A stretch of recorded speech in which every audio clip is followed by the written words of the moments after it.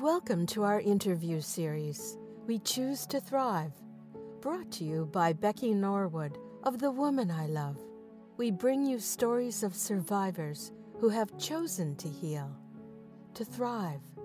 If you are an abuse survivor and are starting or continuing your healing journey, these stories will provide hope, inspiration, and a knowingness that you are not alone. Join us in today's interview. So could you tell me a little bit about when your abuse started and and how? I know you mentioned that it was at the hands of your stepfather. Yeah, started um, at age five. How long did it last for you? Well, it's about 15. It's a long time. Yeah. And bottom line, what would you say that it did to you as far as your self-esteem? It made me nervous around other men. That was number one. Any any man at all. I mean, it could be my uncle, it could be my cousin. It devalued me in with them. I think I became more of a, I thought it was normal. I became flirty around them, if that sounds right. Mm-hmm. Like I wanted them to like me, and if they didn't, I really tried my hardest to make them like. And then there were times when I just didn't like them. I just didn't like men at all. Like when I started getting 12, I didn't like men at all. My best friends were, you know, my aunt and things like that. My teachers, I was, I delved into school a lot. But then when I became maybe 13 or 14, I needed to get their attention. How did it affect you as you grew, grew into, came into adulthood? Uh, I, number one, I didn't know anything about relationships. It damaged what I was supposed to know of any relationships, and it made me limit them. So it made me begin a list before I even got the friends. So if I had, were, was looking for a friend, I started the list already. I want this, I want that. And the minute that I saw something that resembled that, I wasn't friends. So I limited myself in friendships and relationships with other people. And the other thing is I became a professional liar, not in intentionally, but because that, you know, I guess it was ingrained in me that to always keep it. And everything, everything was alive. Everything. I would create things. But mine was more or less, I was more inclined to suicide. So I got into, um, I, I skipped right over alcohol, went right straight to really hard drugs. And then the day that I did go to hard drugs, I literally sat on the train tracks and tried to kill myself. Mm-hmm. With my son, what started, it took so many years. Right after that, I started going to church and it's not that I didn't have God. I just thought it was a, be a peaceful place to be. And I started getting involved in church. But the worst thing was that they followed and I was spiritually, spiritually raped in the church. So I was put in the back burner yet again, last again. And my perpetrator became my authority figure yet again. So it was really hard in church. So what's been the most positive thing that you've done for yourself? Most positive thing is I found out that I don't have to be a survivor, but I can recover.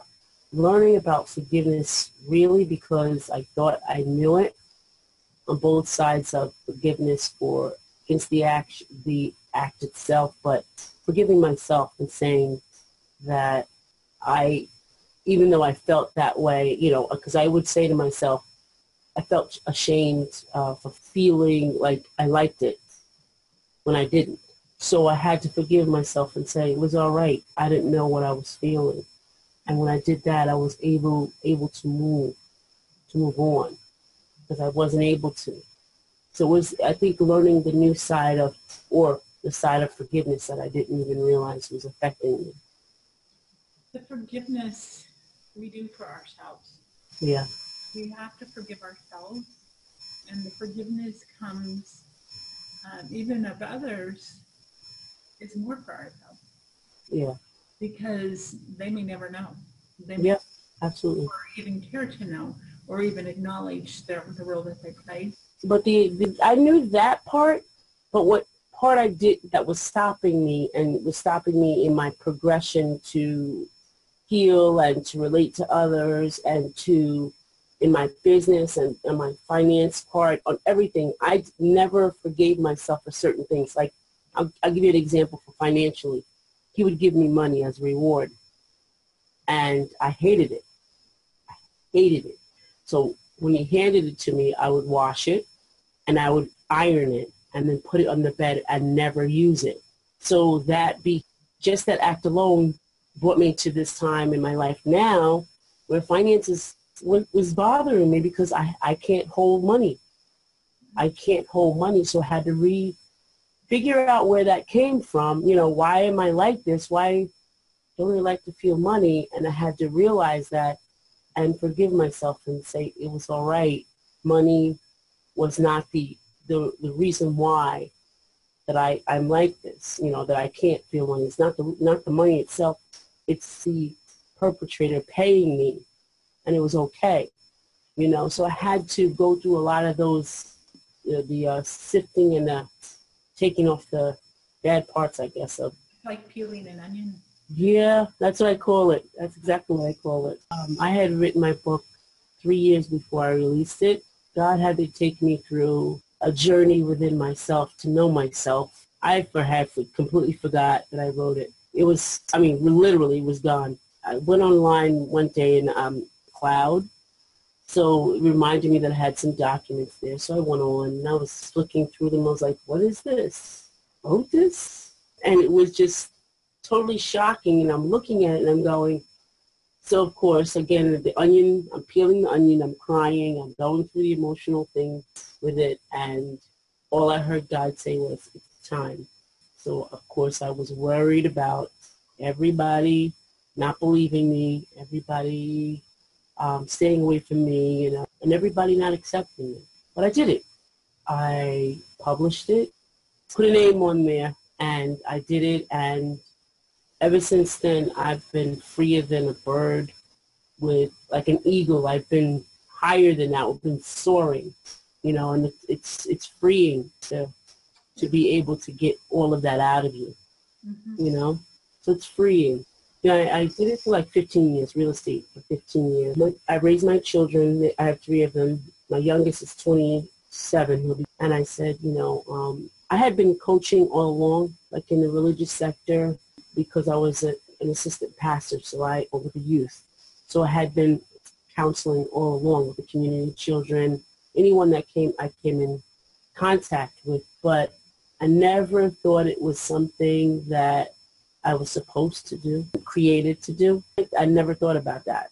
It was just something, oh, well, I was more commanded and not until I did full circle and came back and, um, you know, finding the book, publishing the book, speaking for a couple of agencies, did I, did I really look back and say, you know what, I, this is easy and this is something that I know that I can relate and I can help other people with. Three, three clients now on a regular basis it's something that I know that I, I want to do. I'd like to do it as a group, but does it really happen in a group? I don't know, you know. What words of wisdom could you offer to those that are just, they've experienced it, they're broken, they're, they're hurting? Could you give that would help another person say, I can do this. I can, I can heal. I can not just heal, but thrive. I would tell them everyone is not the same and that your the way you heal is the way you heal. You're not alone, that's number one. But for myself, I would kind of compare myself to other people in, you know, whatever, the group. And I'm saying, why am I not getting it like they are? Um, but, every, but you will get it because realization is, is key. It's okay to feel what you feel when you feel it. It's okay because you have to go through the emotion, you have to go through all of that, and it's okay to feel that way. Because I found when I was going through everything, everybody was like, it's going to be okay. No, don't worry about it. You know, like, get over it. And I'm like, no, it's okay for me to feel this way. I have a right to feel this way. I have to I have a right to be mad or you know angry, cry, as long as I need to so that I can make it because those are things I have to go through. But I was the one that kind of stopped it from going to the other sisters. So it's the sacrifice. Many times that we are. Like all of my childhood, whenever, you know, when you're growing up, so at five, six, when you're supposed to be gaining all the, you know, the fun times in your life, creativity, gone. You know, at 10, you're supposed to be gaining, um, learning how to make relationships out in the new world, gone. I didn't have that. I couldn't do that. Mm-hmm. Not with, with, not without, not with that horrible secret laying there. You know, I couldn't do that. 15, I'm supposed to be gaining some kind of confidence to get out into the world. Can't do that. It's all gone. So all the important things that, that gets me ready or gets someone ready to move on in life are all gone or stripped away. There is light at the end of the tunnel there is joy that's had on the other side. Yes, there is. It's not permanent. It's not a permanent injury. It's mm-hmm. something we will never forget. And it's something that will always go with us, but it doesn't have to control our world. No. What resources can you recommend? Miracle of, of uh, the train didn't come for a whole day.